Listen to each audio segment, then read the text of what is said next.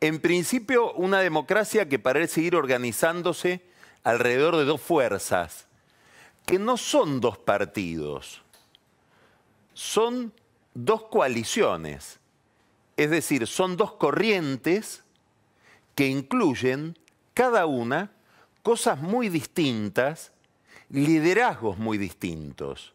Es decir, no estamos ante dos bloques de poder, uno en el gobierno, otro en la oposición, sino que se enfrentan dos mosaicos.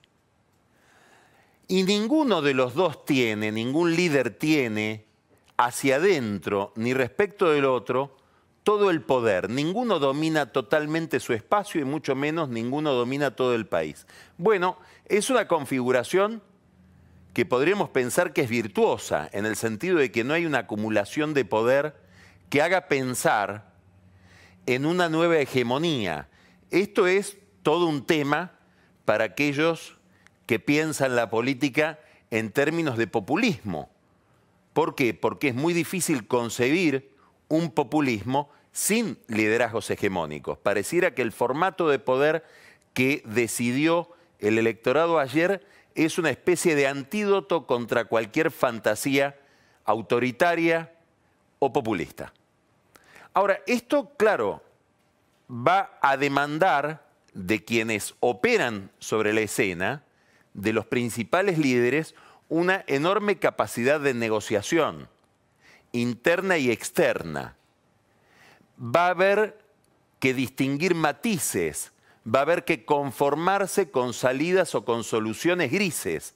No es un mundo, justamente por esta fragmentación de poder, blanco y negro.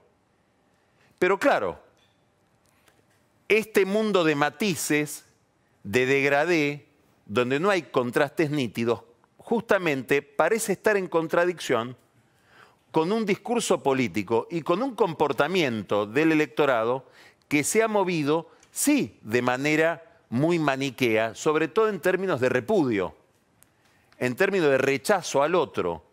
Muy probablemente, y esto lo hemos comentado muchas veces, Fernández convoca a una cantidad de gente que le dio la victoria con una bandera principal, sacarlo a Macri, y sacar sobre todo la política económica de Macri, del poder.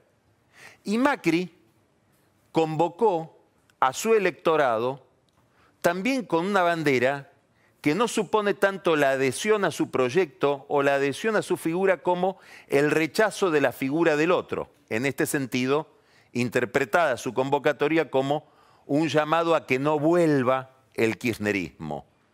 Son posiciones muy contundentes, muy categóricas, para un esquema de poder que no está pensado para posiciones categóricas, sino para posiciones negociadas.